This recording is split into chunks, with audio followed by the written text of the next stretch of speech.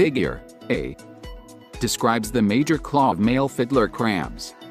Gray text denotes the different claw sections, and black text and lines shows the seven measurements distilled into principal components, representing claw size and shape.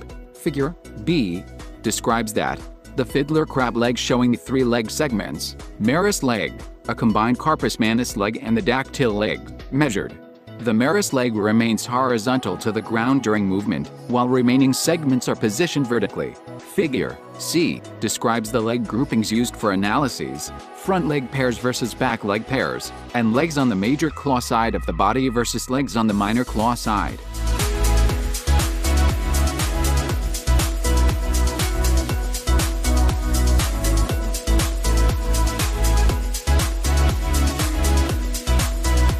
Female fiddler crabs which consists of cheilites, eyes, walking legs, carapace, rostrum.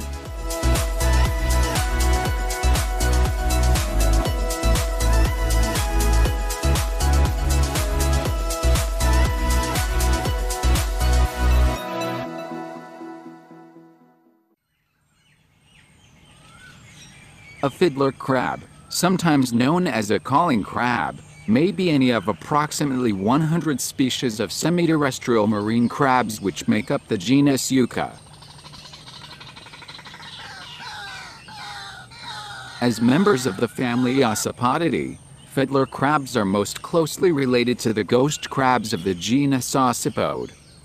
This entire group is composed of small crabs, the largest being slightly over 2 inches across.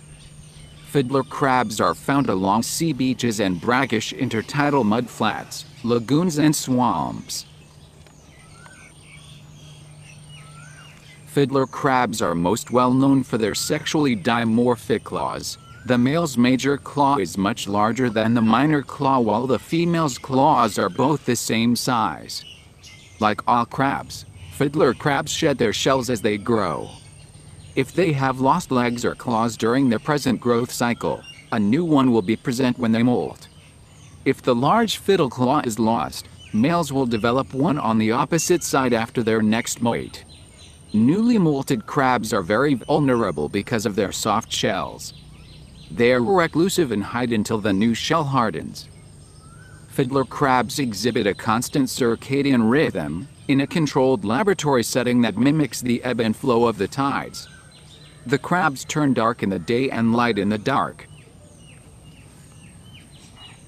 Found in mangroves, in salt marshes, and on sandy or muddy beaches of West Africa, the Western Atlantic, the Eastern Pacific, Indo-Pacific and Algarve region of Portugal, fiddler crabs are easily recognized by their distinctively asymmetric claws. Fiddler crabs communicate by a sequence of waves and gestures, Males have an oversized claw or chela, used in clashes of ritualized combat of courtship over a female and signal their intentions between conspecifics. The movement of the smaller claw from ground to mouth during feeding explains the crab's common name. It looks as if the animal were playing the larger claw like a fiddle. The crab's smaller claw picks up a chunk of sediment from the ground and brings it to the mouth, where its contents are sifted through, making the crab a detritivore. After anything edible is salvaged, be it algae, microbes, fungus, or other decaying detritus, the sediment is replaced in the form of a little ball. The presence of these sediment balls near the entrance to a burrow is a good indication of its occupation. Some experts believe that the feeding habits of fiddler crabs play a vital role in the preservation of wetland environments. By sifting through the sands, they aerate the substrate and prevent anaerobic conditions. The crabs is generally found in marshes, beaches and mudflats.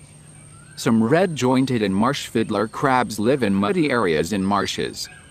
Red-jointed fiddler crabs are more tolerant of low salinities. Marsh fiddler crabs are found between the low and high tide lines, while red-jointed fiddler crabs dig burrows above the high tide line. Sand fiddler crabs live on sandy, salt and brackish beaches and flats. They cannot survive in muddy areas because they can only feed over sediment particles of a certain size. Fiddler crabs create tiny, sometimes elaborate burrows up to 2 feet deep for mating, sleeping, refuge, and hibernating during winter. They are very active during the day and return to their burrows at night, and during high tide, plugging the entrance with mud or sand. The fiddler crabs feed on algae, bacteria and decaying marsh plants. The lifespan is up to two years.